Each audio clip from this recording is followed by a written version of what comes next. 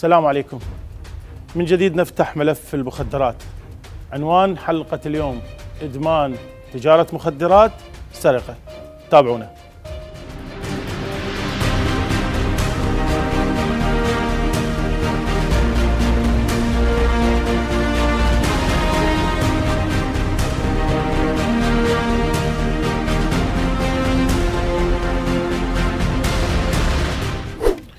ما اطيل عليكم وقصتنا أيضا حول شباب اثنين اليوم.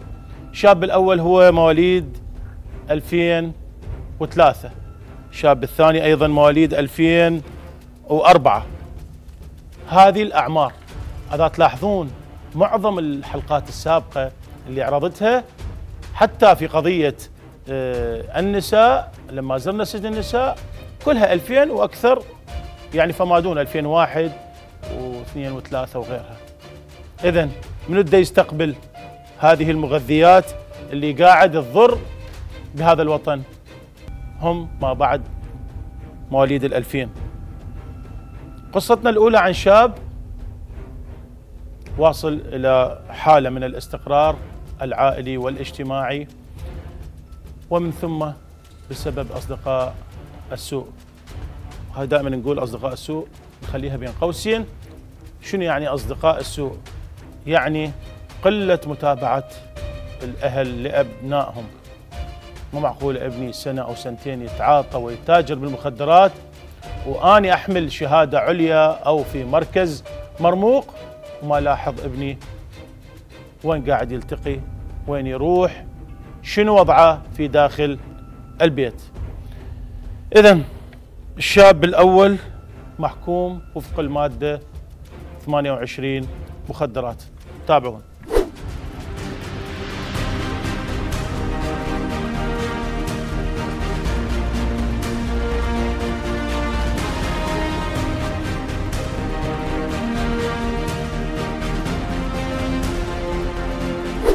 مواليد 2003 طالب معهد فنون. آه، أسكن منطقة المنصور. آه، دعوتي هي 28 مخدرات تجارة. عايش حياتي مثل كل شاب كنت. مرتاح متونس طالب سيارتي أمشي أفتر. أطلع ما حد يحاسبني وما حد له شغل بيه بس يعني أقصد لك خارج البيت مو البيت. إي. فجأة لما أشوف نفسي أتعاطى مخدرات تعاطيت. شلون تعاطيت هاي؟ ما أدري. جرفني الطريق واصدقاء السوء مثل الكلمة المتعارف عليها. والله تعاطيت جرت سنوات أتعاطى. إي ففجاه سافرت كان عندي شركة سفر وسياحه تدري خلال العمل يصير عندك مجتمع عملي مثل ما نقول. إي فصدفة التقيت ببنيه وعلمتني عليه محافظه اربيل تعلمت على ماده كريستال ظليت أتعاطى بيها. راحت أيام جت أيام صدفة. صار عندي معشر في هذا المعشر جديد ما أعرف شنو هو. طلعوا وطبوا وصداقة وهاي يعني هو يخليك تعاشر. فالمهم صار مني الغرام صار غرامين ثلاث غرامات ظليت أتعاطى وأجيب وصار عندي أصدقاء تجار أعرفهم يبيعون. إي فقمت أجيب حتى بدون فلوس يعني من خلال الصداقة صار. إي. فظليت أتعاطى. فجأة انه أنا كنت مسافر سنه 2020 رجعت من السفر. أي فخابرتني صديقتي بنيه قالت لي أكو ولد يريد يريد يشتري. لحد الآن أنا قلت لك ما إيه قالت لي يريد يشتري. قلت لها أنا ما ابيع قالت لي خطيه وصديق وما أدري شنو مو بيتهم مو ببغداد وهاي ما يندل قلت لها ما شطي قالت لي لا يشتري ما قلت لها تمام يشتري. فالمخابرة على صديقي الثاني اللي هو يبيع. قلت له أريد هالقد. يعني أذكر قلت له أريد كيلو. كيلو كريستال. قال لي شو تسوي بيه؟ قلت له يردوه جماعة من يمي ما قلت له لي. فالمهم أخذته. اي أخذته قلت له فلوسه خليه يمي أنا أنا أجيب لك اياه أعطاني الولد رحت وصلته. أنا وأصدقائي وصلناه المهم من وصلنا؟ إيه، طلعت هي البنيه نفسها مبلغه علينا للمكافحة. اي ليه؟ السبب ما اعرف السبب. تكرهني عدوه ما أدري. المهم هي أحسن بلغت يعني حتى صحتني عن نفسي من دخلت للسجن. اي طيته خلال أثناء صعد الولد وياي بالسيارة منطقة الكرادة. صعد وياي اللي يريد يشتريه هو والبنيه، البنيه كانت منتظرة خارج السيارة. الولد صعد راويت المواد. قال لي اريدهن نزلت وياه. جاي اعطيه اياه ما أشوف إلا تمت علي المكافحة. أخذونا إحنا أربعة. أخذونا واحد طلع وواحد بقي. بس آه، خلال هاي إنه من جبت الكيلو استعزيت بيه ما ردت اطي إيش ردت أسوي؟ ردت مثل ما نقول أقشمر على المقابيلي. اشتريت شب بمكانه. اشتريت شب من العطار. فقلت له إنه هذا كريستال والكريستال حقيقي؟ بقيته يمي. اي بقيته داخل البيت ما طلعته وياي. فمنكم شت المكافحه إيش مشت وياي كريستال راحوا ودوه فحص للطب العدلي. الطب العدلي طلع عن مواد غير مخدرة. مواد عشبيه غير مخدرة. ف كم شد تحقيق وما شنو قال له لا قال له إنه هو هاي أعشاب مجرد شب هو. فالمهم حكمني خمسة شهر ميزت رديت عالجت ما فاض يعني هو هو صحيح درب عوج واخذ الجزاء. درب مو صحيح واخذ الجزاء هي خمسة شهر نقول الحمد لله. لأن هو هذا الموضوع المخدرات مو مال مو شيء للبشر ما مصنوع للبشر. مع احتراماتي اللي تعطوني يعني شيء مصنوع للحيوان. يفقد عقليتك يفقد هذا ما يخليك. أي ف... الحمد لله والشكر ان انكم صحيت على نفسي هنا كنت أسوي؟ وين أني؟ أنا منو؟ يعني عالم مرتبه واصلة علميا وثقافيا. بس أنا وأنا همي كنت قبل لا اتعاط بس هي ما أدري شلون غلطت فيها. يعني أنصح الشباب كلها الخارج السجن لا يوصلون لهاي المرحلة. واحدة من الأسئلة اللي سألتها لهذا المدان قلت له أسباب التوجه إلى المخدرات تعاطي أو المتاجرة هي ثلاث أسباب. أما نتيجة واحد الفقر وعاطل عن العمل وما يدري وين يروح يروح ينسى الدنيا. وأما جهل وسوء إرادة وبالتالي صديق سوء ياخذه إلى هذا المنحى. أو بسبب ترف. البعض يوصل هاي المرحلة مرحلة ترف. عنده فلوس متوفر له كل شيء يريد يوصل إلى مرحلة من الكيف اللي تخليه ممكن أن يومية يهلوس ويومية يدمن ويعيش حياته مع الأصدقاء المقربين منه. قلت له أنت أي واحد منهم؟ كان يقول لي أني قضيتي قضية ترف. خلي نشوف وين أخذ الترف شنو الكلمات اللي وصلها إلى والده والدته. حياتي أي شاب يتمناها. أقعد الصبح على حب الله أركب سيارتي ومصرف بجيبي وكاشف مرتب وما عندي أي شيء. يعني موفري لي أهلي كل شيء. يعني واسافر وين ما أريد وأطب وأطلع بس شنو؟ قلت لك هي طبيت بهذا. وعندي أصدقاء يعني مثقفين وواصلين وأكبر من يمي علميا وأكبر من يمي عمرا إي. بس أنا غلطت والملامة كل جاي يلومنا عليه لأن أنا شيء وهذا شيء شلون وصلت له ما أعرف. بس الانجراف بهذا المجتمع صار قوي. طبيت هنا أنا شفت أشياء ما شايفها يعني. ما كنت برا متوقعها إنه أنا وين. غير عالم غير مجتمع غير بيئة غير غير حتى سوالف غير التفكير مالته غير كل شيء.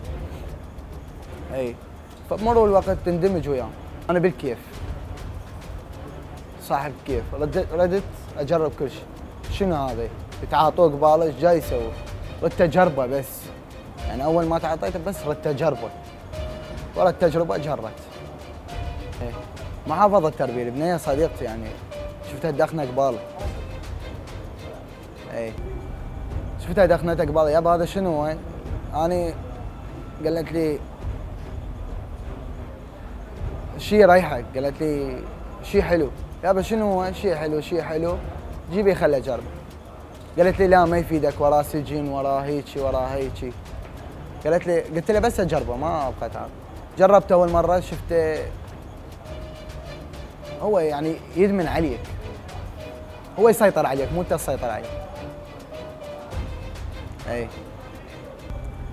المهم هسه البنيه بالسجن.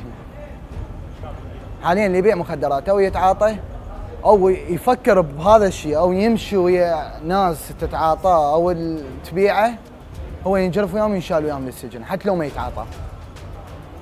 يعني الدولة تقول لك أنت إيش عندك؟ جاي تمشي ويا هذا. صحيح لو غلط. يعني عندك شيء وياه جاي تسوونه. فما يطول مدة قصيرة. خلي يطول لي أكثر شيء كحد أقصى سنة. كحد أقصى. بس ما يطول أكثر من سنة. امي وابوي دمروا. نفسيا جسديا تعبوا انه التفكير يعني قاموا ما يفكرون بشيء بس فيه. إيش جاي ياكل إيش جاي يشرب جو. ليش وصل نفسه لهاي المرحلة؟ السبب من يمه لو من يمه هيك ظلوا يفكرون. يعني تعبوا تعبوا. وأنا الأصغر واحد بخوت يعني. فمثل ما نقول الجملة مدلل مدلل. أي فم تأذوا حيل يعني. أمه تجيني هنا بالحر بالشمس بالعذاب. وما يعني حرامات طببتها لهيك مكان. مو حرامات طب هيك مكان. تزورني بسجن حرامات إي فتقول لي يمه ليش؟ شو مقصرين وياك إحنا؟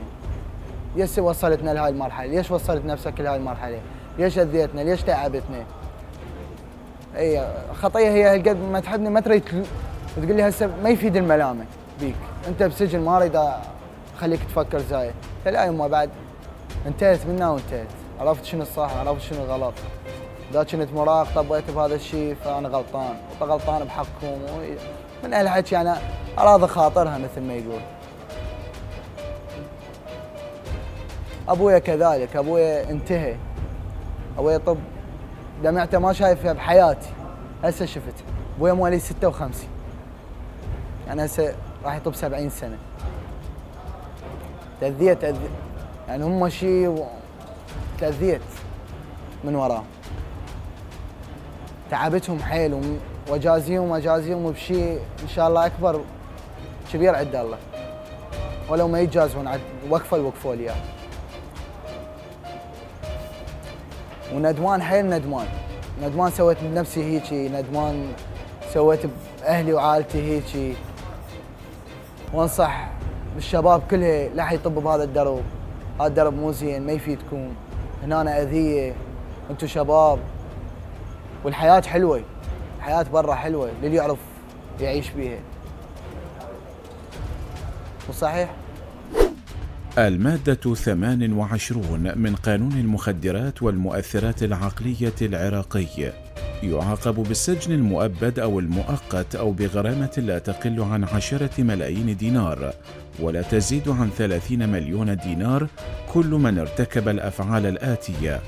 أولاً حاز أو أحرز أو اشترى أو باع أو تملك مواد مخدرة أو مؤثرات عقلية أو سلائف كيميائية أو نباتا من النباتات التي تنتج مواد مخدرة أو مؤثرات عقلية أو سلمها أو نقلها أو تنازل عنها أو تبادل فيها أو صرفها بأية صفة كانت أو توسط في شيء من ذلك بقصد الاتجار فيها بأي صورة وذلك في غير الأحوال التي أجازها القانون. ثانياً قدم للتعاطي مواد مخدرة أو مؤثرات عقلية أو شجع على تعاطيها في غير الأحوال التي أجازها القانون. ثالثاً أجيز له حيازة مواد مخدرة أو مؤثرات عقلية أو سلائف كيميائية لاستعمالها في غرض معين وتصرف فيها خلافا لذلك الغرض. رابعا أدار أو أعد أو هيأ مكانا لتعاطي المخدرات أو المؤثرات العقلية. خامسا أغوى حدثا أو شجع زوجه أو أحد أقاربه حتى الدرجة الرابعة على تعاطي المخدرات أو المؤثرات العقلية.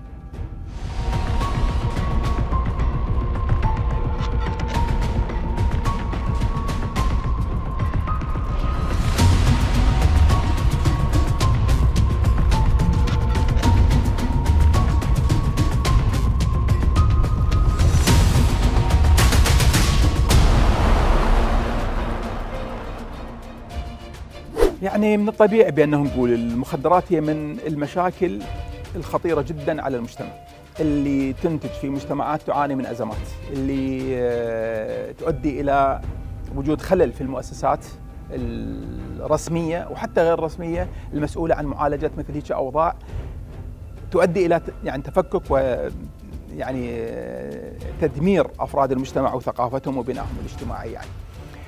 المخدرات يعني آه، عملية مو مجتمعية وإنما عملية دولية. دائما تقوم جماعات معينة بإنتاجها ثم تقوم بتصديرها إلى مجتمعات مستهدفة. بالمناسبة المجتمعات التي تأخذ أو تتعاطى المخدرات هي ليست مجتمعات ترغب بتعاطي المخدرات وإنما تم استهدافها لتعاطي المخدرات. الغاية منها هو تعطيل النشاط الاجتماعي والاقتصادي لذلك المجتمع. مجتمع مريد ينهض مريد يكون فاعل مريد يكون إيجابي. وإذا نلاحظ يعني إذا بس نظره عامه هيك على المجتمعات اللي يتم بها تعاطي المخدرات أو رواج المخدرات بطريقة معينة. شوف شو المجتمعات المستهدفة. أي مجتمعات؟ بعض المجتمعات الآن أباحت استخدام المخدرات بقدر معين. مثلها مثل المشروبات الروحية. لأنه أنت بإمكانك أن تتناول كمية معينة. ممكن أن تباع بالصيدليات ممكن أن تباع في ال ال يعني الأماكن الترفيه العامة بنسبة معينة بحيث يتم قياسها. شلون هسه برا اللي يشرب يقيسون بأنه هذا إيش قد شارب؟ نسبه الكحول إيش قد بدمه؟ فإذا مقبولة يعبروا يعدوها وإذا لا. نفس الشيء راح يصير على المخدرات أو صار في بعض المجتمعات على المخدرات يعني. ولكن من يتم بهالطريقة هاي بأنه أنت تفتح الأمور على مصراعيها. بعد أن تعرض أفراد المجتمع إلى ضغط قوي وما عنده منفذ غير تعاطي المخدرات وخاصة إنها تبدأ بجرعات بسيطة لاستدراج الشباب المضغوط عليهم ثم تبدأ عملية استغلالهم بشكل كبير جدا تعرف اللي يبدأ يتعاطاها مرة أو مرتين انتهى موضوعه راح تنفتح له هذا الباب يعني ويصير آه هو مجبر على أن يتعاطاها ومجبر على أن يدفع مبالغ كبيرة جدا ومجبر على أنه يتعطل من عمله ومجبر على أنه يكون ما مركز وغيرها من الأمور الأخرى. تجارة المخدرات على مستوى العالم هي تديرها شركات مخابراتية. يعني نوع من الحروب تشن على الشعوب لتغييب شبابها وبالتالي هذه الحروب الجيل الخامس اللي هي حروب صناعة الوهم. وجعل المواطن مغيب وعايش في عالم آخر وبالتالي فاقد البوصلة. وأعتقد يعني هذا العمل للمخابرات يجب أن يجابه بقوة يفترض أن تحجم الهجمة الحقيقية الآن على العراق اللي هي هجمة المخدرات. إحنا لو لاحظنا بالعشر سنوات الأخيرة هنالك ارتفاع كبير جدا بتجارة المخدرات في الشارع العراقي. وهذا معناته أن هنالك هجمة حقيقية تشن على العراق وعلى الشعب العراق وعلى الشباب تحديدا اللي هم ثروة العراق الحقيقية. لذلك نقول على الحكومة العراقية أن تقوي هذا الجهاز وتعتمده كجهاز لمكافحة المخدرات بكل جزئياته سواء كان من ناحية الإمكانية العددية البشرية الآلية المقرات. أعتقد يعني يفترض هكذا أن يكون. يعني مثل ما شكل جهاز مكافحة الإرهاب وأعطي قانون بعدما تعرض العراق إلى هجمات من قبل إرهابيين ومتطرفين فكريا وأتت الحاجة ملحة ليكون لدينا جهاز ضارب وقوة ضاربة تكافح الإرهابيين ثم تأسست قوة الحج الشعبي البطلة بعد أن اجتاح داعش الإرهابي.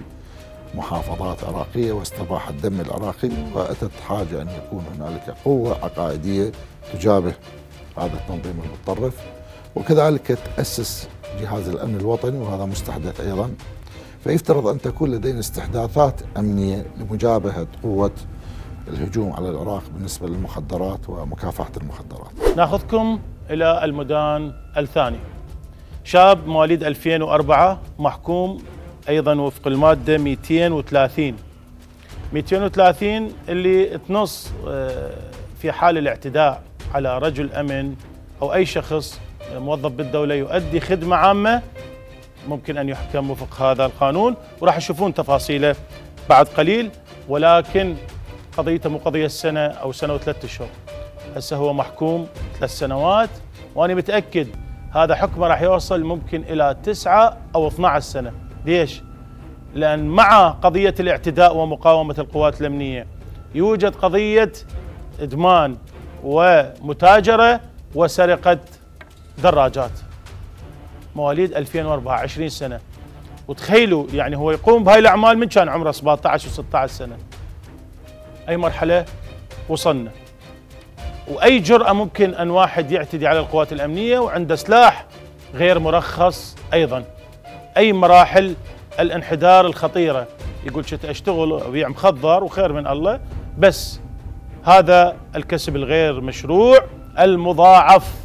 لأن يشوف ربح كيلو مخدرات يعادل شغله مال سنة سنتين ثلاثة وبالتالي أخذ هذا الجانب وبالمقابل حقيقة قانوننا يمكن أعتبره حاد جدا في هذه القضية وطالبنا في أكثر مرة بتجديد العقوبات حتى يكونون هم آه، عبرة لمن هو في الخارج وبعده ما شاف قضية أن يكون بالسجن لمدة ست سنوات أو 12 سنة. تفاصيل أخرى نشوفها مع هذا الشاب وكلمات أعتقد هي ما نابعة من داخله بشكل حقيقي لأن أحيانا الإنسان يوصل مرحلة صعب أن يغير من نفسه.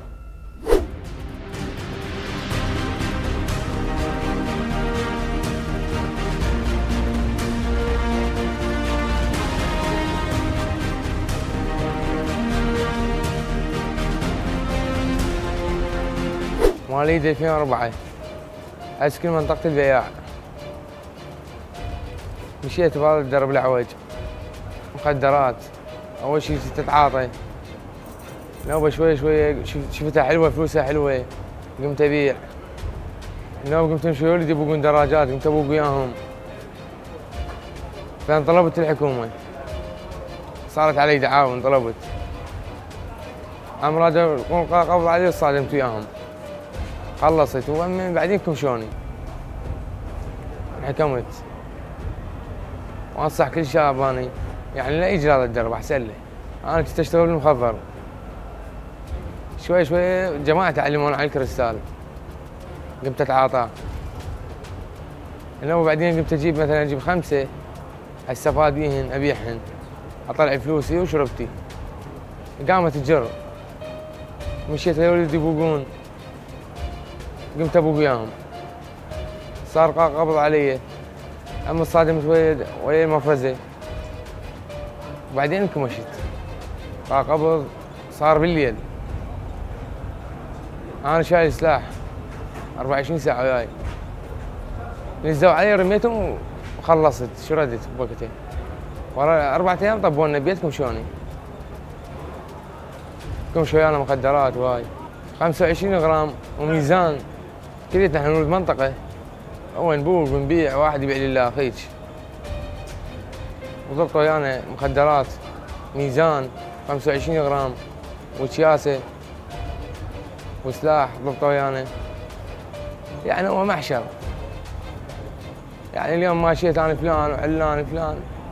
أم الشرب نوب حباي نوب كريستال. من دخلنا الكريستال بعد انتهينا. مشاكل وياهن. مشاكل العالم إحنا خربنا العالم كلها ما خلينا أنا واحد صديق لنا بالشارع. صحيح قلت ما انكمش أنا قلت وين انكمش ما تروح قلت. ما اخذ بحيف صدر. ما انكمش ما انكمش كثرا علي دعاوي. ضربنا ولد ويانا ضربنا طلقة برجله صاحبنا همين. هم ندري بروحتنا تحركنا ضربناه قامت الاستخبارات تطب علينا. الجرائم تطب علينا يوميا. شردنا مي بنوتنا. لو رمينا الدولة رمينا المفرزة. هم طفرنا. ورا ثلاث أيام تم القبض علينا أبوي أنا رجال معقل عالم تعرفه يا حمام معقلين أنا. دمرتهم. حتى ما لعينهم عليهم. هسه من هنا أنا أول شيء بالشارع كنت. مو متعاطي أتعارك وياهم مشاكل هاي من ورا جماعتي. تعرف يوم ما اطلع من البيت هسه بعدين قمت اصل هنا بيني وبين روح من صحيت. حتى يعني ما ما العين بواعي بوجههم. علاقتي كانت قبل به اللي تخبل. وأطلع أشتغل. بالمخضران ولد جماعة همي بقصتي. أروح للعلوة نجيب زرع الفجر. نرجع نبيع بالسوق مال الرابعة. يعني حياتي ماشية تخبل. مرتاح لا عندي عدو لا عندي هاي. طبيت بهذا الدرب صار عندي ألف عدو. والحكومة تركض ورانا دمرت حياتي. كنا نطلع أكثر شيء نشيل أنا سلاح من نطلع. حتى أنا أخاف واحد مثلا يطلع لنا بسلاح هاي. يطلع لنا واحد يبكي بينا. نرمي جوال نرمي فوقه. نخوفه.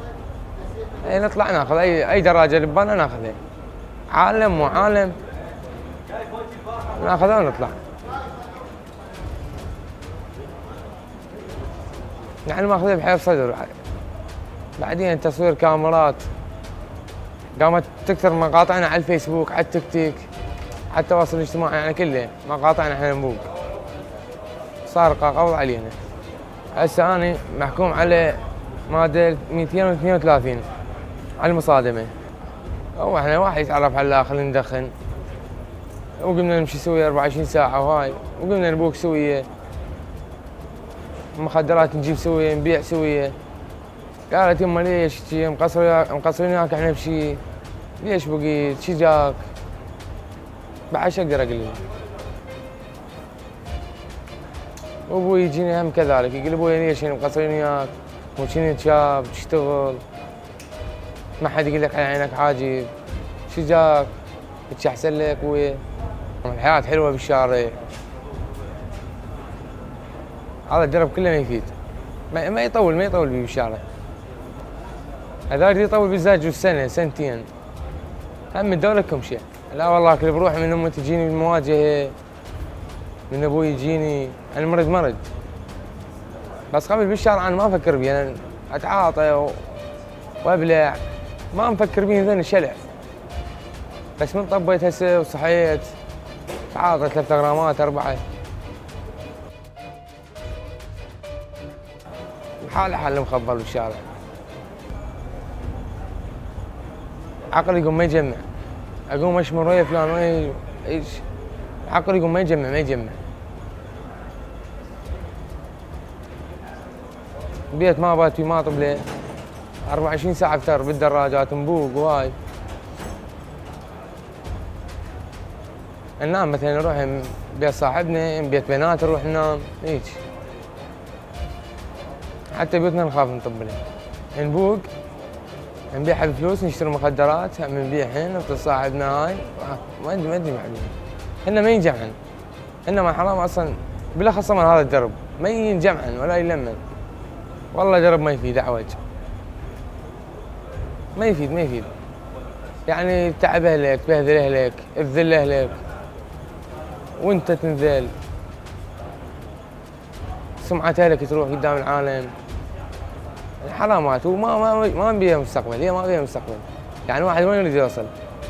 ما بيها مستقبل ما بيها أما اول تالي تجي الحكومة تشيلك أنا إذا انشملت بعفو هسه واطلع أشتغل.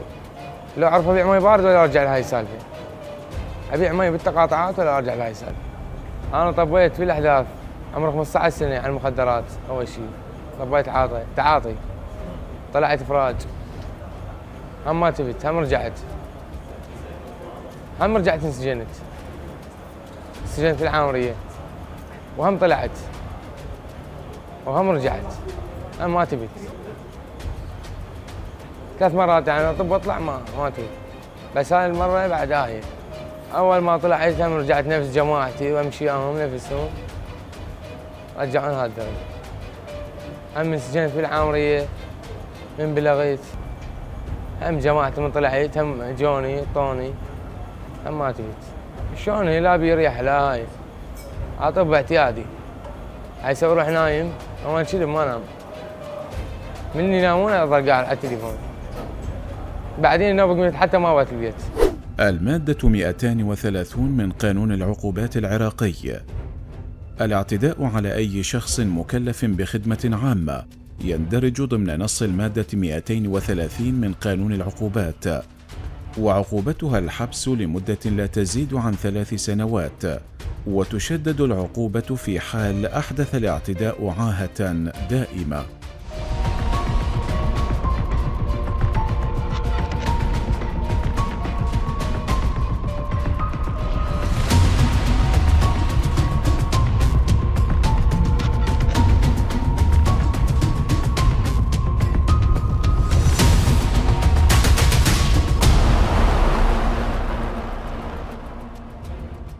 جزء من قوة جهاز مكافحة الإرهاب تضاف إلى مكافحة المخدرات وكذلك من قوات الحج الشعبي البطلة وكذلك من الأمن الوطني. ويعتبر جهاز قوي مرتبط برئاسة الوزراء لديه صلاحيات واسعة على حدود العراق. أعتقد بهذا يفترض أن يكون هنالك نوعا ما تحديد لهذه التجارة وليس القضاء عليها. لأن إذا أردنا أن نقضي على هذه التجارة البائسة فيفترض أن تضبط حدودنا وكل الجهات وأيضا تكون هنالك عوامل مساعدة ل آه، لأن هنالك متعاطين وهنالك مدمنين ولا بد أن يعالجون هؤلاء. لذلك نقول يجب أن تكون لدينا إمكانية طبية لمعالجة المدمنين والمتعاطين حتى نقلل تجارة هذه التجارة البائسة. متى تتحول إلى أداة لتدمير المجتمع المستهدف مثل ما قلت لك لأنها نقطة جدا مهمة. بأنه لا تتعاطى المخدرات بهذه الطريقة وبهذه الكمية سوى المجتمعات المستهدفة. المجتمعات اللي ما عليها استهداف ماكو داعي. اكو مجتمعات تنتج هذه المواد المخدرة لتصدرها إلى الخارج. فلوس بها فلوس مو طبيعية يعني. مبالغ ضخمة جدا. ولكن تستهدف بها جماعات معينة سواء يعني لأنها غنية أو لأنها يعني يجب أن تتحطم يجب أن لا تكون فاعلة يجب أن لا تكون إيجابية. فلهذا من الضروري جدا على أفراد المجتمع بأنه يعون تماما بأنه هذه الممارسات مقصودة. ناس تشتغل على أنه يعني تأذيك تدمرك تحطم حياتك على مستوى الشباب أو على مستوى المجتمع بصورة عامة. بس إحنا دائما نحكي عن الشباب لأن هم البنات يعني هم ال ال ال الأعمدة اللي لازمة المجتمع يعني. هم اللي يشتغلون الآن هم راح يقودون المجتمع مستقبلا وبالتالي هم الأساس. يجب أن نركز على هذا الموضوع.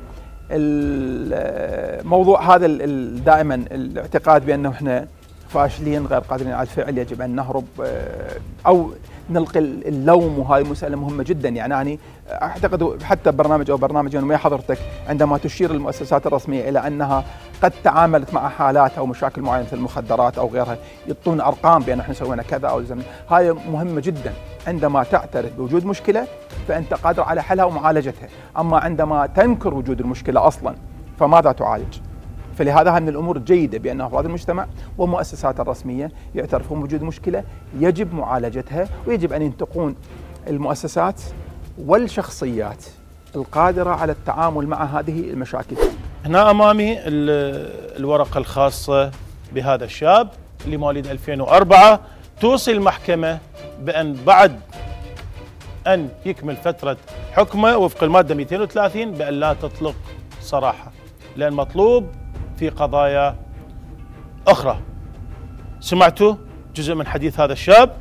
مواليد 2004 مارس كل أنواع الإجرام ولكن تبقى القضية الأهم وهو حفظ دماء أبنائنا من أبناء القوات المسلحة الجيش والشرطة وجميع التشكيلات لأن اليوم معظم اللي يتعاطون أو اللي يتاجرون بالمخدرات يحملون أسلحة. يمكن استعرضنا وراح نستعرض حتى بحلقة اليوم بأن عندنا شهداء وجرحى. لذلك بشكل شخصي إيش قد إحنا نطالب أحيانا في قضية إنصاف البعض من النزلاء؟ ونطالب دائما بعفو عام ولكن أي واحد ممكن أن يتطاول على القوات الأمنية؟ نطالب بتجديد العقوبة بحقه حتى وإن كان مواليد 2003 2004 2000 المهم عليه أن يحترم سيادة القانون.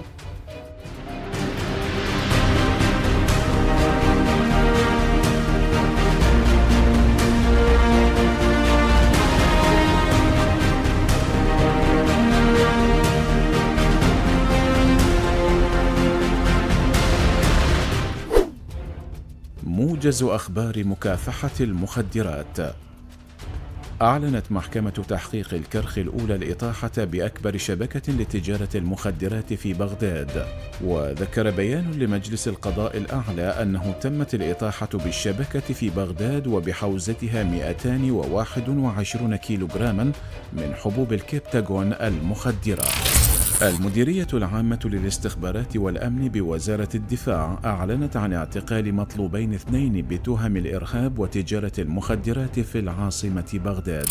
وزارة الصحة تعلن عن 17 مركزا موزعا على بغداد والمحافظات يتم فيها فحص المخدرات لطلبة الدراسات الأولية والعليا والمتعينين الجدد في جميع المؤسسات. رئيس شرطة مكافحة المخدرات في إيران الجنرال إيرج كاكاوند يوجه تحذيرات إلى الزائرين الإيرانيين المتوجهين إلى العراق. يتعلق بالمخدرات واستخدام المؤثرات العقلية مؤكدا على احترام القانون العراقي. وزارة الداخلية تعلن عن مقتل وإصابة اثنين من كبار تجار المخدرات في الديوانية وجرح ضابط في الشرطة أثناء العملية. مجلس الوزراء يقرر تخصيص مليار دينار شهريا لوزارة الداخلية المديرية العامة لشؤون المخدرات والمؤثرات العقلية وذلك دعما لجهودها في مواجهة عصابات المخدرات.